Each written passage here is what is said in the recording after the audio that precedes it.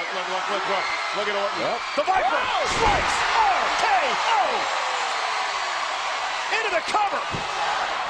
Inexperienced. Randy Orton in a row.